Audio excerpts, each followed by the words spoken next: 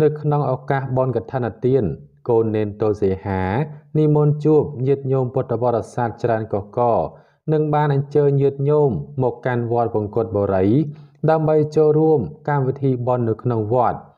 ក្នុងឱកាសដែលព្រះអង្គតូសីហានិមន្តទៅកាន់ខេត្តកំពង់ឆ្នាំងដើម្បីចូលរួមកម្មវិធីបុណ្យអង្គឋានទានសាមគ្គី នៅក្នុងវត្តមង្គលខណ្ឌនោះកូននេនតូសីហាក៏មានឱកាស បានជួបនិងមានសន្និកាជាមួយនឹងញាតិញោមពុទ្ធបរិស័ទក្មេងចាស់ប្រុសស្រីយ៉ាងច្រើនកកកនៅក្នុងកម្មវិធីបនអង្គឋានទាននាវត្តមង្គលខណ្ឌនោះក្នុងពេលនោះញាតិញោមពុទ្ធបរិស័ទពិតជាមាននៅសេចក្តីជ្រះថ្លា និងមនោសញ្ចេតនាអាណិតស្រឡាញ់ចំពោះព្រះអង្គតូចព្រមទាំងមាននៅសេចក្តីរំភើបត្រេកអរដែលបានជួបថ្វាយបង្គំដោយផ្ទាល់ជាមួយនឹងព្រះអង្គតូសីហា ដោយបានបង្ហាញពីទឹកមុខញញឹមរីករាយជាខ្លាំងជាមួយនឹងព្រះអង្គតូច នៅក្នុងឱកាសដ៏ជ្រះថ្លានេះផងដែរកូននេនតូសីហា បានមានសង្ឃនិកាជាមួយនឹងញាតិញោមពុទ្ធបរិស័ទហើយអ្វីដែលបងប្អូនមហាជនពុទ្ធបរិស័ទអ្នកប្រើប្រាស់បណ្ដាញសង្គមមានការចាប់អារម្មណ៍ទៀតនោះ គឺព្រះអង្គតូសីហា បានអញ្ជើញញាតិញោមពុទ្ធបរិស័ទដែលមានសទ្ធាជ្រះថ្លា ដើម្បីមកកាន់ទឹកដីខេត្តកំពត គឺដើម្បីចូលរួមក្នុងកម្មវិធីបនកថានទាន នៅក្នុងវត្តវង្គតបរិយហៅវត្តព្រៃថ្មី ដែលស្ថិតនៅភូមិភ្នំតូចឃុំកណ្ដោលស្រុកទឹកឈូនៃទឹកដីខេត្តកំពតដែលកម្មវិធីបនកថានទានសាមគ្គី នៅក្នុងវត្តវង្គតបរិយហៅវត្តព្រៃថ្មី ប្រព្រឹត្តទៅនៅថ្ងៃពុទ្ធ13កើតនិងថ្ងៃប្រហោះ14កើតខែកដឹកឆ្នាំរោងឆស័កពុទ្ធសករាជ2568ត្រូវនៅថ្ងៃទី13ទី14ខែវិច្ឆិកាឆ្នាំ2024ខាងមុខនេះដើម្បីប្រមូលបច្ច័យក្នុងការកសាងសមិទ្ធផលនានានៅក្នុងវត្តពិសេសនោះគឺការកសាងនៅព្រះវិហារថ្មីមួយសម្រាប់ញាតិញោមពុទ្ធបរិស័ទជិតឆ្ងាយបានធ្វើបន្ទាន នេះឱកាសនោះដែរកូននេនតូសីហា សង្ឃឹមជឿជាក់ថាញាតិញោមពុទ្ធបរិស័ទនៅក្នុងខេត្តកំពង់ឆ្នាំងនិងញាតិញោមទាំងអស់នៅទូទាំងប្រទេសព្រមទាំងញាតិញោមនៅក្រៅប្រទេសផងដែរនឹងចូលរួមនៅក្នុងកម្មវិធីបុណ្យកឋិនទានសាមគ្គី នៅក្នុងវត្តរបស់ព្រះអង្គនិងចូលរួមជាបច្ច័យដើម្បីឲ្យការកសាងព្រះវិហារនៅក្នុងវត្តព្រៃថ្មីនេះបានឆាប់រួចរាល់ផងដែរ ជាមួយគ្នានោះព្រះតេជគុណឡុងសុភ័ក្រដែលជាព្រះគ្រូចៅអធិការវត្តព្រៃថ្មីក៏បាននិមន្តបណ្ឌបាតទៅកាន់ញាតិញោមទាំងអស់ទាំងក្នុងប្រទេសនិងញាតិញោមនៅក្រៅប្រទេសមេត្តាចូលរួមនៅក្នុងកម្មវិធីបុណ្យអង្គឋានទានសាមគ្គី នៅក្នុងវត្តព្រៃថ្មី និងបន្តការជួយការកសាងព្រះវិហារបន្តទៀតព្រោះបច្ចុប្បន្ននេះព្រះវិហារទៅតែកសាងបានប្រមាណជាង40%តែប៉ុណ្ណោះ ហើយបើតាមការគ្រោងទុកព្រះវិហារនៅក្នុងវត្តព្រៃថ្មីនេះគ្រោងចំណាយថវិកាសរុបប្រមាណជា40ម៉ឺនដុល្លារឯណោះដូច្នេះក្នុងការកសាង និងការចំណាយនេះគឺពឹងទៅលើកម្លាំងសាមគ្គី របស់ញាតិញោមពុទ្ធបរិស័ទជាឆ្ងាយដែលមានសទ្ធាជ្រះថ្លា និងព្រះពុទ្ធសាសនាក៏ដូចជាញាតិញោមដែលគោរពស្រឡាញ់ព្រះអង្គតូសីហាផងដែរបាទចំណែកឯអត្ថបទមួយទៀតមានចំណងជើងថា ព្រះរាជគុណគូសុភាព មានសង្ឃដីកាថារើថ្ងៃឡើងអាគាររើថ្ងៃការកូនបាន តែបើរើថ្ងៃប្រសូតបុត្រតាមហុងសុយគឺមិនគួរនោះឡើយ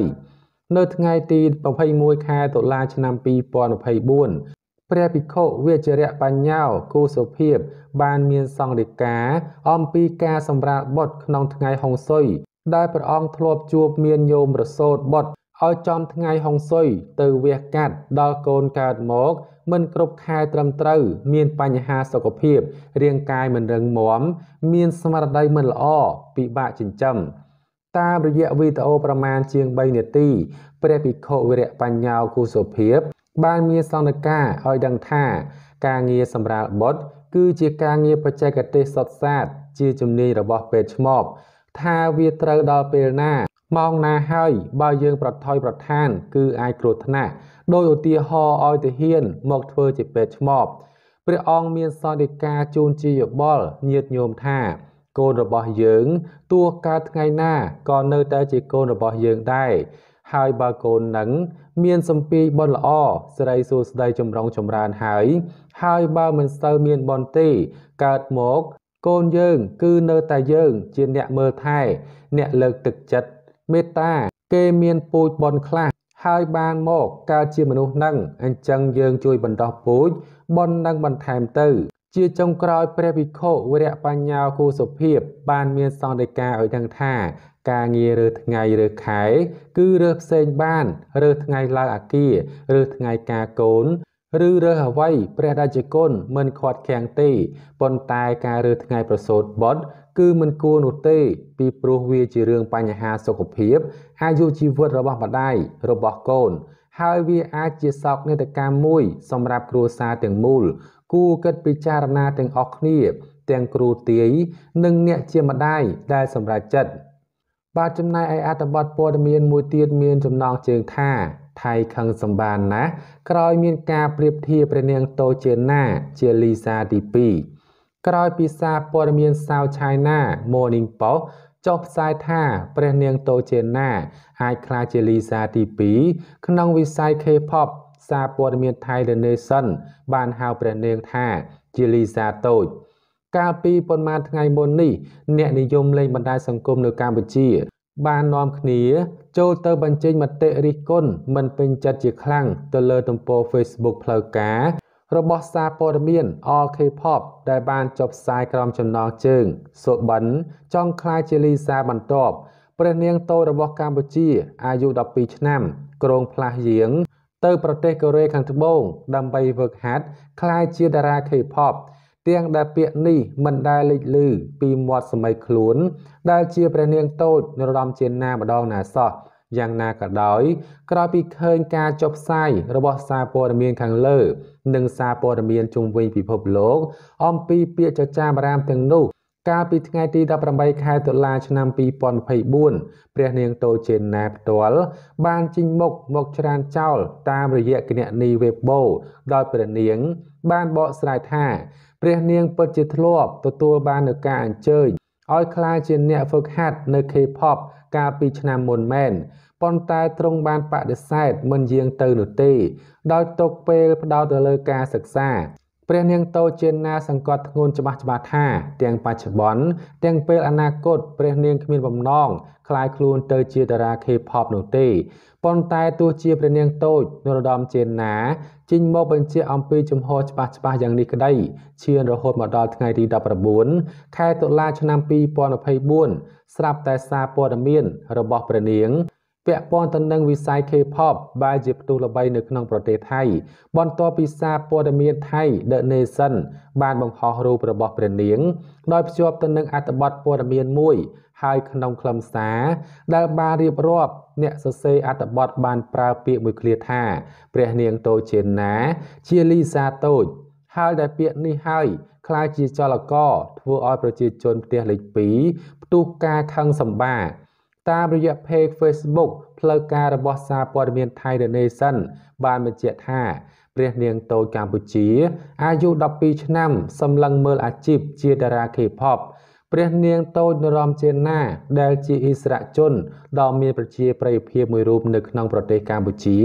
ដែលមានអ្នកតាមដានបណ្ដាញសង្គមរាប់លានអ្នកនោះត្រូវបានគេរាយការណ៍ថាកំពុងពិចារណា លើការវឹកហាត់នៅប្រទេសកូរ៉េដើម្បីបន្តក្តីសុបិនរបស់ព្រះនាង ក្នុងការបង្ហាញខ្លួនជាតារាលំដាប់ពិភពលោក ដោយមានជំនាញច្រៀងនិងរាំគួរឲ្យកត់សម្គាល់និងមានភាពស្ទាត់ជំនាញក្នុង5ភាសាខ្សែរាជវង្សវ័យក្មេងរូបនេះកំពុងឈានឆ្ពោះទៅប្រឡូកក្នុងវិស័យ K-pop នេះបើយោងតាមបណ្ដាញសង្គមសារព័ត៌មានតៃវ៉ាន់ Sanli New Network អ្វីដែលធ្វើឲ្យអ្នកលេងបណ្ដាញសង្គមផ្ទះលេខ2កើតទុកមិនសុខចិត្តនោះគឺត្រង់ថាសារព័ត៌មានថៃ The Nation នេះបានសរសេររៀបរាប់សរសើរព្រះនាងតូចនរមជាណាថា ជារឿយរឿយព្រះនាងត្រូវបានគេចាត់ទុកថាជាលីសាតូច របស់ប្រទេសកម្ពុជាដោយសារតែសមត្ថភាពរាំរបស់ព្រះនាង និងភាពស្រដៀងគ្នា ទៅនឹងលីសាសមាជិកក្រុម Blackpink ព្រះនាងតូចេណាទទួលបាននូវការចាប់អារម្មណ៍ខ្លាំងចំពោះរូបរាងពិសេសនិងទេពកោសល្យសម្ដែងរបស់ព្រះនាង អ្នកគាំទ្រកំពុងប្រៀបធៀបព្រះនាងទៅនឹងតារា K-pop ដើមកំណើតអាស៊ីដោយលីសាសមាជិកក្រុម Blackpink និងមីនីសមាជិកក្រុម G ដោយរំពឹងថាព្រះនាងនឹងទទួលបាននូវភាពល្បីល្បាញស្រដៀងគ្នា នៅឆ្នាំនេះនាងបានបង្ហាញអំពីទេពកោសល្យរបស់នាងបន្ថែមទៀត តាមរយៈការឈ្នះពានរង្វាន់តារាសម្ដែងចំណូលថ្មីល្អបំផុត នៅមហោស្រពភាពយន្តកម្ពុជា អាស៊ីលើកទី2សម្រាប់តួនាទីរបស់នាង ក្នុងខ្សែភាពយន្តភ័យរន្ធត់បណ្ដាសានាងរាត្រីស្របពេលដែលព្រះនាងបន្តកើនឡើងនៃប្រជាប្រិយភាព និងភាពល្បីល្បាញទាំងក្នុងវិស័យចម្រៀង និងសិល្បៈសម្ដែងនោះព្រះនាងតូចនរមចេណាត្រៀមក្លាយជាមុខមាត់ថ្មី ក្នុងវិស័យសិល្បៈពិភពលោក តាមរយៈការចុះផ្សាយនេះយើងឃើញថាមានអ្នកលេងបណ្ដាញសង្គម Facebook ជាច្រើនអ្នកបានចូលទៅ comment ដោយភាគច្រើនបានកោតសរសើរព្រះនាងប៉ុន្តែខណៈដែលជនជាតិថៃជាច្រើនបែរជាសម្ដែងប្រតិកម្មជាអវិជ្ជមានទៅវិញ ដោយបានប្រើពាក្យពេចន៍អសុរោះនិងខឹងសម្បាទៅលើសារព័ត៌មានមួយនេះរហូតសារព័ត៌មាន The Nation បានសម្រេចចិត្តលុបចោលនៅការបង្ហោះខាងលើ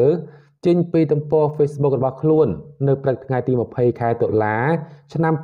2024